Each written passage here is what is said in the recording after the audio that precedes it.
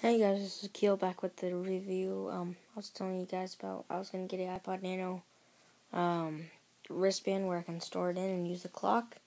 So um, I got it in the mail about about I think uh, four days ago, and so I'm doing this review. So this is it's an Eagle Series uh, wristband, and you could get it from Amazon. Um, it is really, really nice. Like all that design, and then when you feel it, it feels really nice. Like really soft touch, silicone, rubber. Um, you just clip that into there. So now I'm gonna clip clip it in. So here's my Nano, and it's not really difficult. Maybe sometimes. Um, so you just, once you get it in there, it's not that hard. You just keep it on like that and you push it in. So once that pushed in, it should click. And that should go like over that.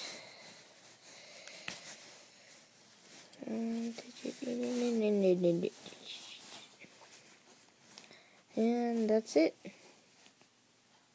So you could just turn it on. Okay. So I keep it like this, and I'll show you how it actually looks with my wrist, on my wrist. Okay. So just put this on here.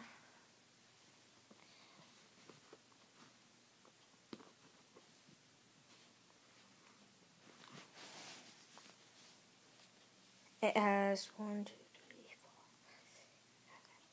nine holes to put your uh, nine different uh, holes for sizes of your wrist. For mine, mine's the third one, so I'm gonna show you how it looks. Just it's kind of hard to get this through, okay? And here it is. So it's on my wrist. It's it looks really nice. Just turn it on, slide, slide, slide, slide, slide, slide. And this wristband works really good with, if you go on fitness, it like really counts the steps, like really accurate. And that's it, and I stapled my hand today. You see right there, wait, oh, the heck, Alright, here one right there, and then there's one right there. These two we got the staple in. Um, another channel you should check out is CoolVid123. That's my friend, and he knows about me stapling my hand, and he's actually my best friend. Okay, so check out his YouTube channel, and I'll keep you guys up to. All right, thanks. Bye.